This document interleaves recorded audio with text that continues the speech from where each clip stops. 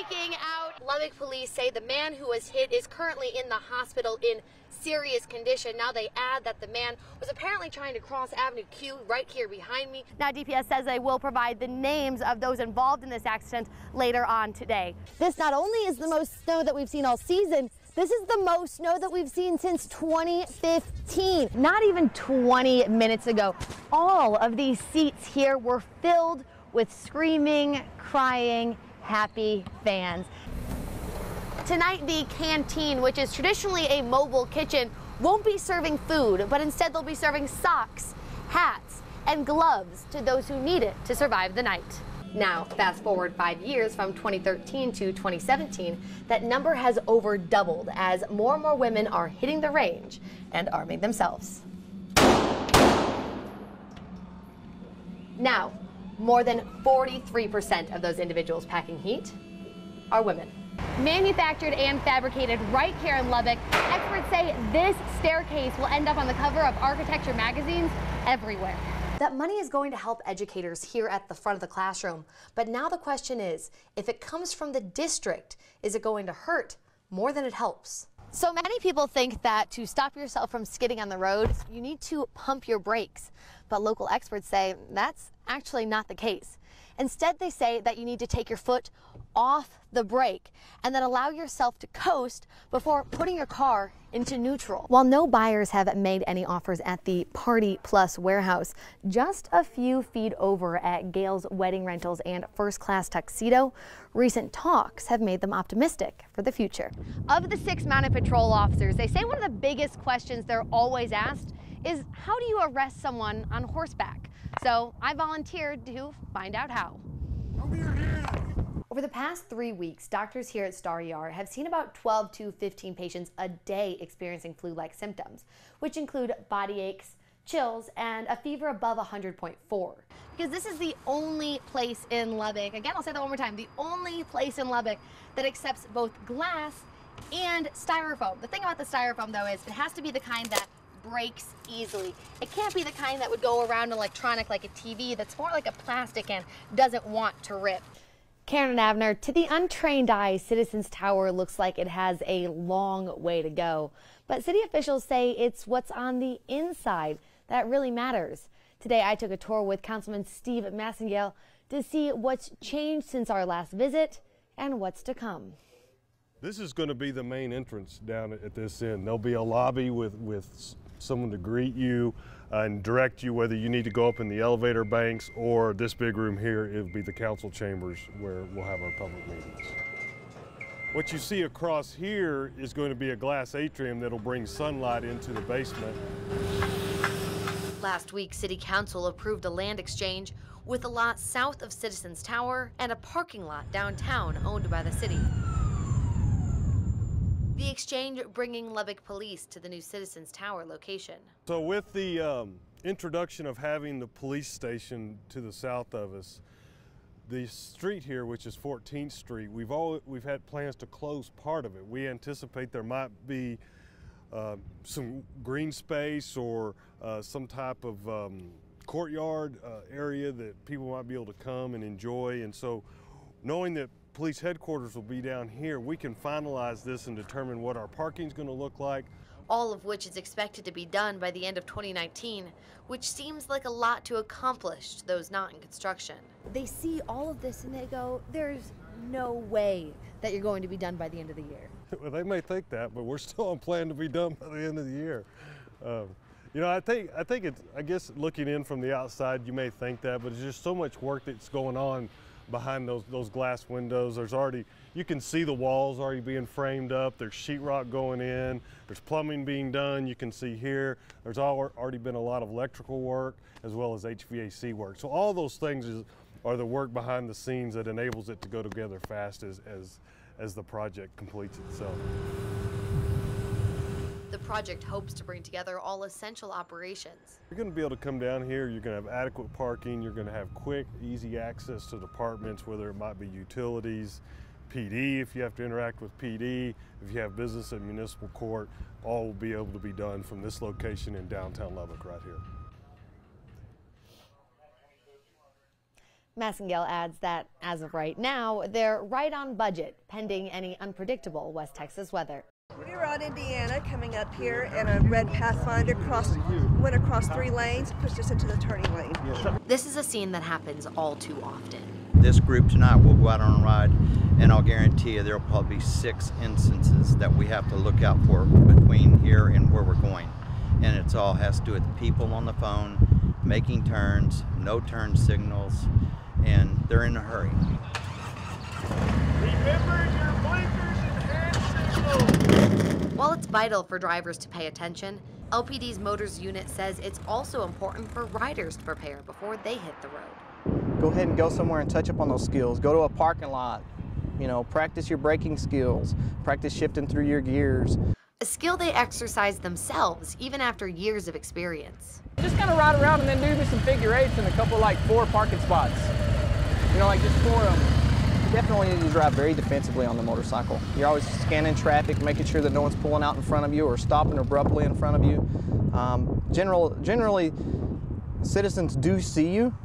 They just don't care. They will pull out in front of you. So you need to remember that. My niece and nephew were hit head on in Dalhart, Texas. The driver even stated that he saw him coming and thought he could beat him, and he didn't. It left my niece without a husband. It left his two children without a father. A tragedy that could have been avoided. You can take away family members so quickly. We have no protection. You have airbags, we don't. I mean, we want to go back home just as much as you want to get home, so you got to pay attention and stay alert. With a barber's license, you don't just learn how to cut hair, you learn how to do it safely and sanitarily. That's why the owner of a local barber academy says it's essential for a stylist to learn the correct ways before someone gets hurt. Scissors are sharp. They tell kids not to run with them, but yet they're going to give them to somebody that has no training. Jason Estrada has been cutting hair since he was a teenager. But he didn't know the correct materials to use until he went to school. Like I said, when I started cutting hair, half this stuff here, I didn't even know what it was until I started cutting hair, until I got educated in that field. These aren't just given out. You have to earn these things. And it comes with more than just cutting hair. But if HB 1705 is approved, that wouldn't be a requirement. And neither would the knowledge of sanitation skills that one would have learned in the classroom. That means that anybody without a license, even people like myself, could come here and pick up a pair of scissors and call themselves a hairstylist. Sponsor of the bill, Texas Representative Matt Shaheen, told our NBC affiliate in Fort Worth that the legislation will help expand employment opportunities by eliminating those, quote, unnecessary occupational licenses. But local residents don't agree. Texas's unemployment rate is fine. It's at the national average, which is 3.8%.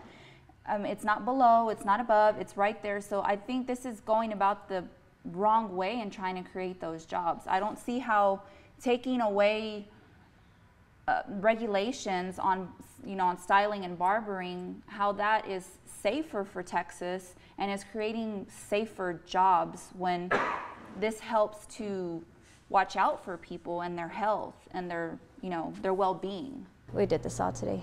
Good to see it like this though. I mean, process is a process, right? And progress is progress, so.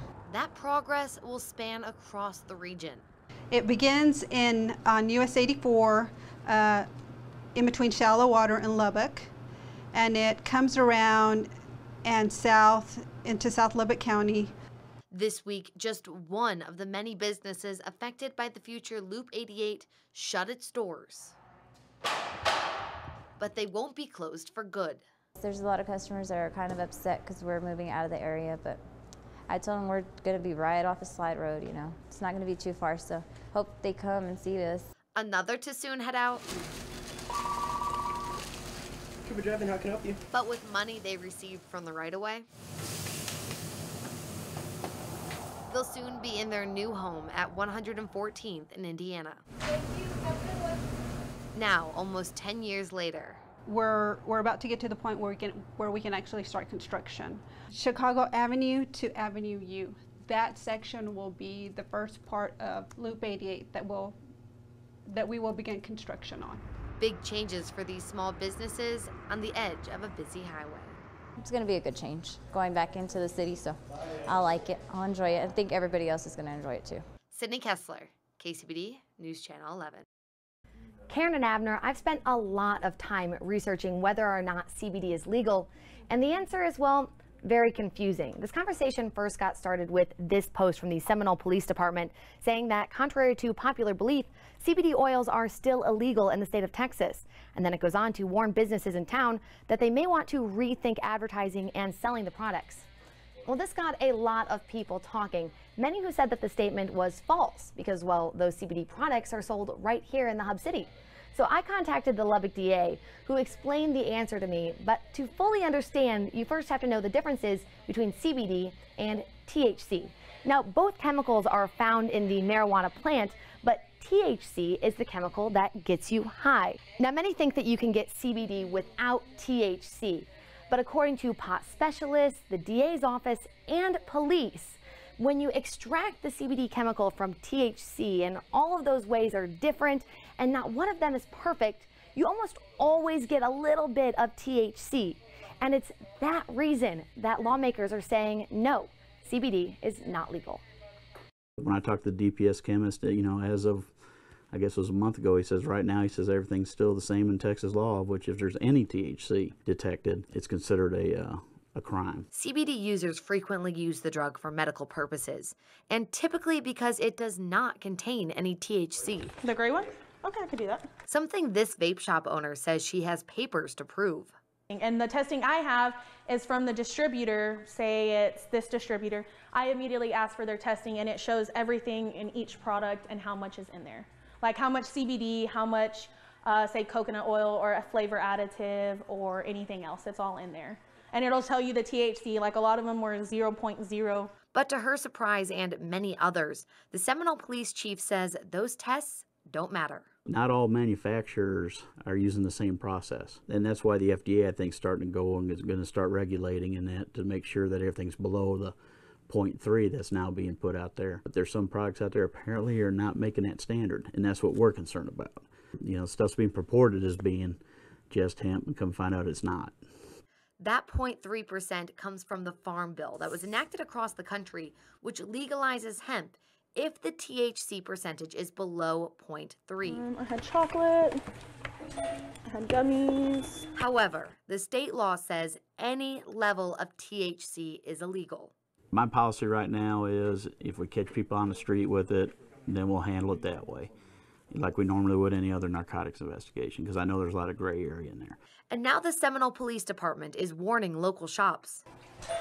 He told me I needed to get everything off my shelves immediately or it was like considered a felony misdemeanor.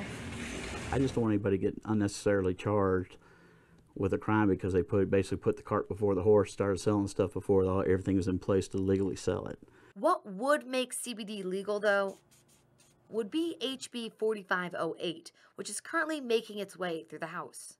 House Bill 4508 specifically deals with the CBD oil deal because even they know that there's an issue with the law or they wouldn't be uh, trying to get a bill in there to clarify. So uh, I'm basically asking for voluntary compliance right now. I Can kind of slow down.